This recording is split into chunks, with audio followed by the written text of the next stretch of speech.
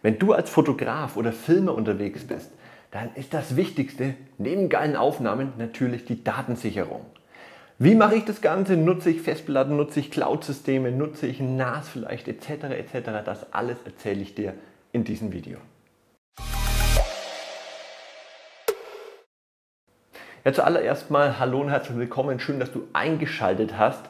Ich bin der Christoph, falls du mich noch nicht kennst und ich schwitze nicht immer so, aber ich komme gerade vom Joggen und bin hier in Südafrika. Und das hat mich zu diesem Thema inspiriert, denn ich habe hier ganz viele Daten zu sichern. Ich nehme hier Videos auf, ich nehme hier Fotos auf, ich bin für Nikon unterwegs, mache viele, viele Aufnahmen und will diese natürlich gesichert haben. Jetzt gibt es da neuere Wege, es gibt Oldschool-Wege und ich will dir in dem Video einfach so ein bisschen aufschlüsseln, wie ich das mache. Das ist natürlich nicht der einzig richtige Weg. Es gibt viele Wege und mich würde auch deiner interessieren. Also pack das gerne unten in die Kommentare, weil ich lasse mich da auch gerne inspirieren, wenn da was Geiles dabei ist. Vielleicht switche ich bei mir auch das eine oder andere, obwohl ich mit dem Setup, wie ich es gerade fahre, schon ziemlich zufrieden bin. Was nicht ganz so geil ist, sage ich dir auch im Video und da werde ich aber auch eine Änderung demnächst vorschlagen. Wir haben jetzt gerade Anfang 2022. Das heißt, das ist mein Workflow aktuell, mein Vorgehen und das gebe ich jetzt einfach mit. Früher, vielleicht mal so angefangen, hatte ich immer den Laptop auf Reisen dabei, gerade um die Datensicherung auch zu machen. Ich weiß, da gibt es auch kleine mobile Festplatten, wo man direkt eine Karte und so weiter reinstecken kann ähm, und so weiter. Mir war das immer sicherer, Laptop, denn dann konnte ich auch die Daten sichten, bliblablub. Mittlerweile ist alles hierauf umgestellt. iPad, iPad Pro, denn das hat mittlerweile die gleichen Funktionen wie mein Laptop und damit lässt sich super arbeiten. Wie gehe ich jetzt vor? Da ich hauptsächlich als Fotograf unterwegs bin, nutze ich Lightroom tatsächlich als allererstes Backup. Meine Bilder, die landen von der Speicherkarte hier, die kommen aus der Kamera raus, gehen hier in den Kartenleser rein und landen direkt in Lightroom Mobile auf dem iPad. Nicht auf der Festplatte oder sonst irgendwo, was man denken könnte. Nein, die importiere ich mir direkt in Lightroom Mobile. Warum, wieso und wie das Ganze funktioniert, da gibt es vielleicht bald einen Videokurs von mir. Lightroom Mobile Superstar äh, kommt im März wahrscheinlich raus. Nagelt mich hier mal noch nicht irgendwie, aber er ist abgedreht. Ich habe den hier aufgenommen. Kommt. So, Disclaimer, Werbung, Ende.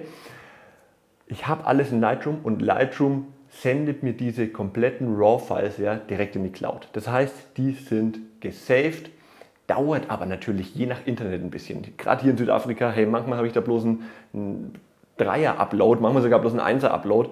Das ist natürlich lahm und dauert gerade bei der Masse, was hier so eine Z7 II durchschießt, da kann das ein bisschen dauern.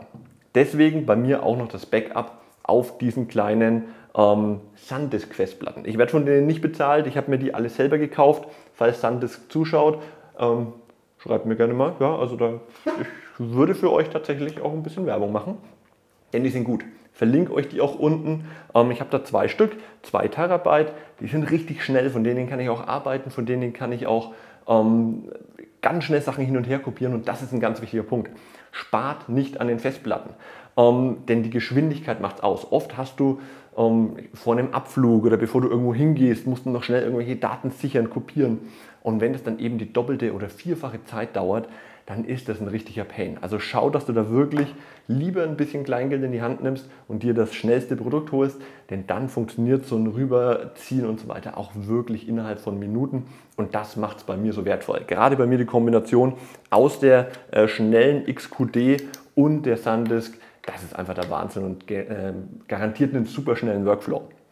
Das heißt, ich ziehe mir die äh, Sachen erst aufs iPad, ja, dann habe ich hier so einen Dongle, den stecke ich da dran und an den kommt dann später gleichzeitig die Karte und gleichzeitig die ähm, Festplatte und ich ziehe dann einfach die Bilder bzw. die Ordner einfach nochmal auf diese Festplatte hier rüber, um dann auch noch die Sicherheit zu haben. Und dann habe ich sogar noch eine zweite, denn das ist gerade unterwegs.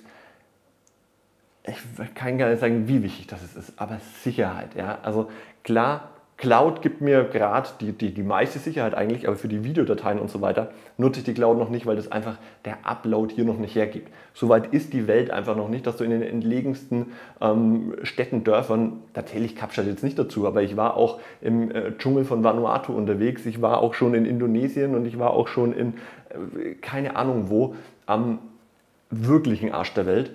Und da hast du einfach kein Internet. Das heißt, du brauchst noch eine andere Option. Und da sind die einfach super. Ähm, ich spiegel das Ganze, habe die dann einstecken. Eine ist immer im Apartment, im Safe. Eine ist immer unterwegs dabei. Somit habe ich auch die Sicherheit, falls irgendwo was geklaut wird, irgendwo was passiert, dann ist das Zeugs auch hier noch safe. Ich habe auch äh, NAS daheim. Ich habe einen eigenen Server, auf den ich quasi auch meine Sachen hochladen könnte.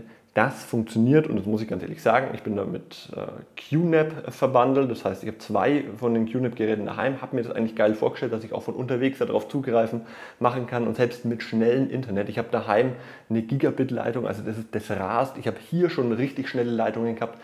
Trotzdem ist die Verbindung nicht immer geil. Ja? Ich muss dann daheim jetzt noch irgendwas Neues einbauen, dass es irgendwie schneller geht.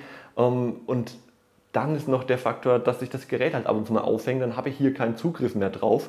Dann muss jemand bei mir daheim in die Wohnung gehen und das Ding neu starten und das ist einfach ultra nervig, funktioniert nicht. Das, äh, deswegen werde ich jetzt ähm, mein ganzes ja, Safety-Gedöns auf Dropbox demnächst umstellen. Dropbox Business, unendlicher Upload, kostet glaube ich 650 Euro im Jahr, äh, ist es mir aber natürlich für die Sicherheit der Daten absolut wert. Das ist jetzt, was ich tun werde. Ich werde mein NAS als so lokale Sicherung behalten, werde das zweite aber abschaffen und werde einfach alles über die Dropbox regeln, ähm, dass ich auch von unterwegs da eben noch besseren Zugriff auf alte Daten habe und vielleicht auch dann vielleicht nur noch eine Festplatte irgendwann brauche, wenn sich hier das weltweit mit dieser Internetabdeckung auch irgendwie verbessert. Bis dahin ist das aber wirklich ähm, mein Setup. Also ich brauche leider, oder was heißt ich brauchen, es würde auch anders gehen, aber ich habe halt gern ein Gerät dabei, wo ich auch direkt editieren kann, machen kann und so weiter. Das ist mittlerweile iPad.